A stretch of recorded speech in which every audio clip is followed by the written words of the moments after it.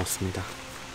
지금 이제 데크에 텐트도 다 치고 뭐 오늘은 차로 다 가져왔기 때문에 의자랑 테이블도 다 폈어요. 그래서 편하게 지금 앉아 있습니다. 맨날 땅바닥에 주저앉아 있었는데 오늘 날씨가 그리고 굉장히 많이 추워졌어요. 그 쌀쌀한 날씨가 됐네요. 어, 여기는 해가 빨리 떨어져서 완전 깊은 산속이다 보니까 그리고 여기는 해발 700m 조금 넘네요. 한 750m 정도 되는 곳인데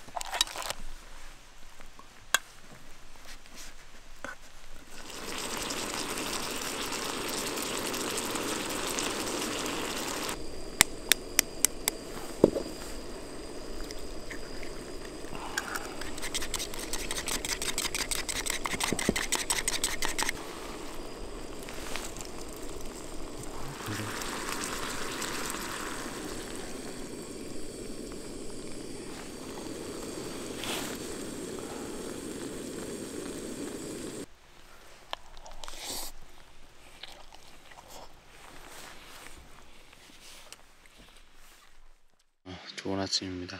오늘은 좀 일찍 일어나서 지리산 노고단에 한번 가보려고 합니다. 가서 좀 라면도 좀 끓여 먹고 그리고 지금 마침 어, 전주에 있는 지인이 같이 올라간다고 하더라고요. 그래서 쓸쓸하지 않게 올라갈 수 있을 것 같습니다.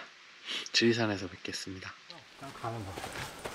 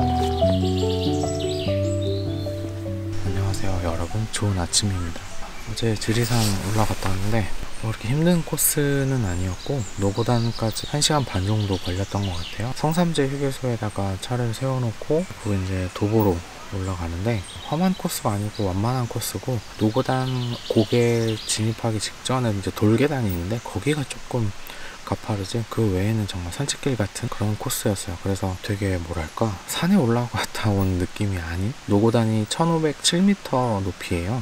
그래서 경치 하나는 정말 멋지더라고요 그래서 높은 곳에서 내려다보는 그런 경치를 보는 게 쉽지는 않잖아요. 하지만 노고단은 되게 쉽게 그런 경치를 선물해 줬습니다. 이번에는 제가 친구랑 같이 가서 또 쓸쓸하지 않게 올라갔다 왔습니다.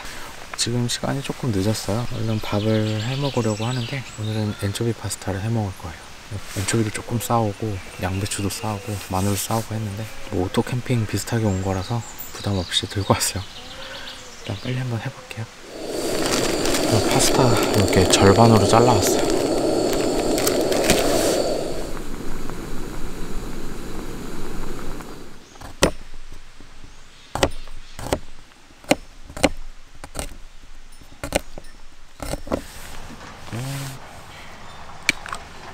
엔초비도 이렇게 가지고 왔어요.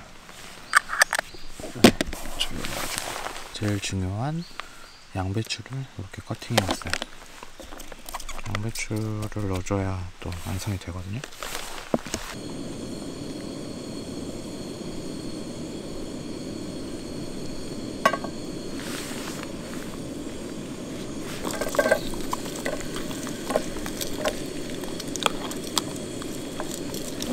너무 센 불로 하시면 안 되고요. 최대한 약한 불로. 그리고 면은 이제 8분짜리 면을 가져왔는데요. 저는 이 위에서 또 조금 더 익혀줄 거라서 6분만 익혀줄 거예요. 그래서 마늘을 잘 펼쳐주고 아 향이 좋은데? 요즘 여긴 간이 안 돼 있잖아요. 소금을 약간 넣어줄게요. 엔초비가 들어가긴 할 건데 면에 간을 하기가 지금 쉽지 않은 상황이라 향을 좀 내주고요.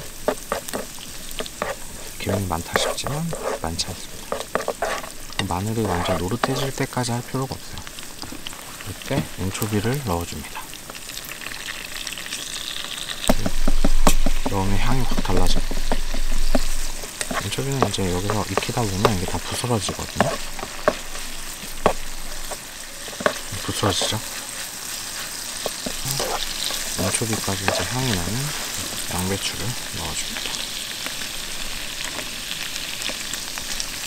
양배추를 약간 찐다라는 느낌으로 한참 익혀주셔야 돼요. 양배추가 약간 부드러워질 때까지 익혀주시는 게 포인트예요. 제가 아까 오일을 왜 많이 넣었는지 아시겠죠? 불을 세게 하시면 안 돼요. 양배추 익을 때까지 가열을 해야 되기 때문에 불이 세면 마늘이 다 타, 타버립니다.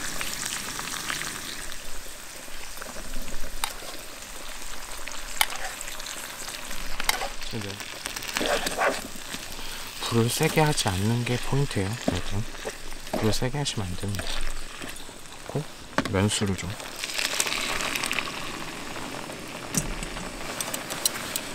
면수 자체가 이제 전분물이어서 소스가 되는데 도움도 주고 면수에다가 소금을 넣었기 때문에 간도 맞춰줍니다. 보시면 바닥에 오일이랑 물이 흐르고 있잖아요. 면에서 전분이 나올 때까지 조금 저어주셔야 제자네가 소스가 됩니다. 그래야 면에 붙어요. 팬이 좀 작다. 너무 많이 했나?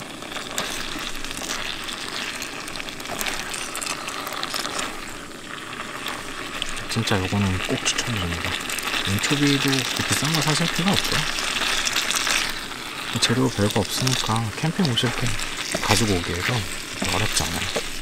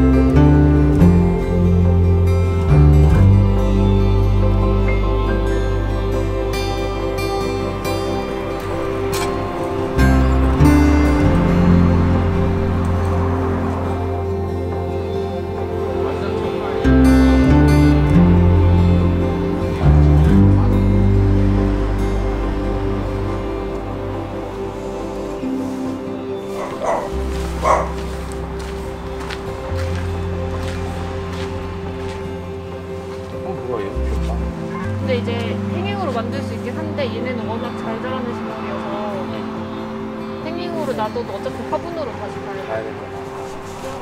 이런 게 많이 들어오긴 했는데 얘 어때?